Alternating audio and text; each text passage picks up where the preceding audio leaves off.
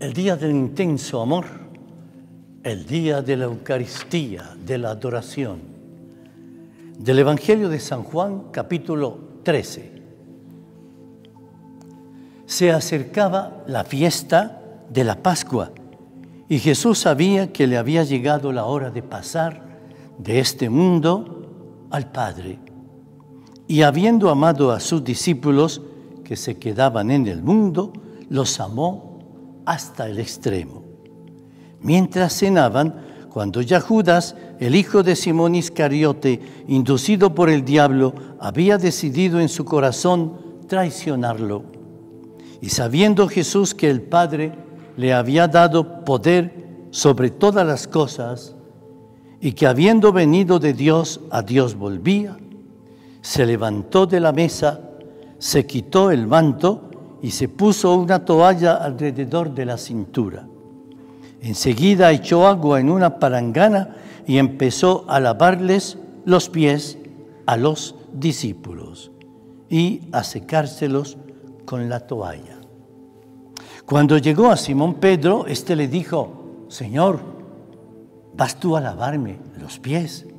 Jesús le respondió, lo que estoy haciendo tú no lo entiendes ahora, pero después lo entenderás.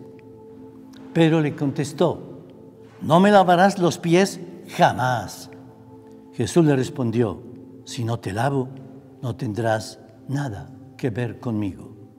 Simón Pedro le replicó, entonces Señor, no me laves solamente los pies, lávame también las manos y la cabeza. ¿Entienden lo que he hecho con ustedes? Ustedes me llaman maestro y señor y con razón.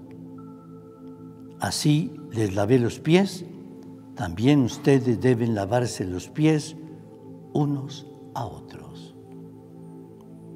Palabra del Señor, gloria a ti, Señor Jesús.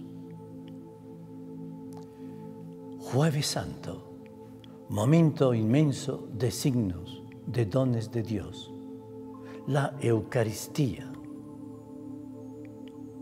don inmenso de Dios, pan de vida.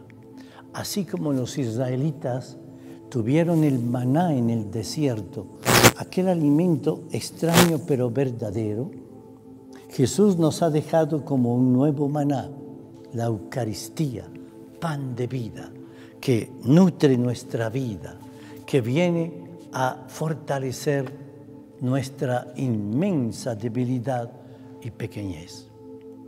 En segundo lugar, es jueves santo y se recuerda cuando Jesús dice, hagan esto en conmemoración mía.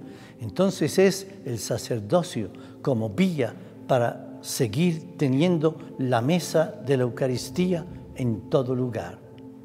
Pero luego, lo acabamos de ver en el Evangelio, es el mandamiento del amor Así como yo les he lavado los pies a ustedes, lávense los pies unos a otros.